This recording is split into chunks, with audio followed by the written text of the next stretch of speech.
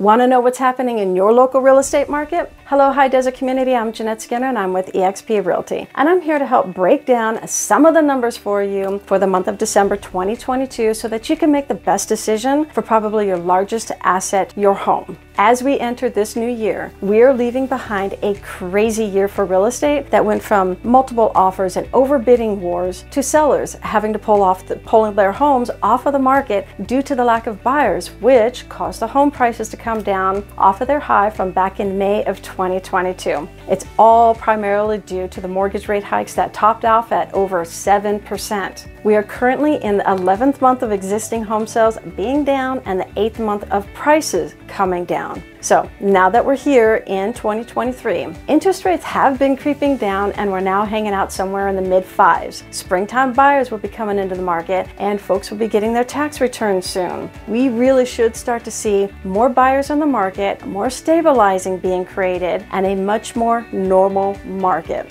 So let's see what the numbers will look like per city for the month of December. In Victorville, California of 92392, 92394, 92395. At the time of this recording, there were 299 active listings, 38 pending homes, and 112 homes that sold. Homes that sold for an average of just over 396,000 and were on the market for an average of 44 days. In Apple Valley, California of 92307, 92308, we have 209 active homes on the market, 22 homes pending pending and 74 homes sold in December. The average sale price was just over 394,000 after spending 45 days on the market. In Hesperia, California of 92392, 92344, and 92345, we have 162 active listings, 22 homes pending, and 73 homes that sold in the month of December. The average sold price was just over 419,000 after spending 51 days on the market. So you can see with the changes in the interest rates, the holiday season, and other factors creating a hectic end to the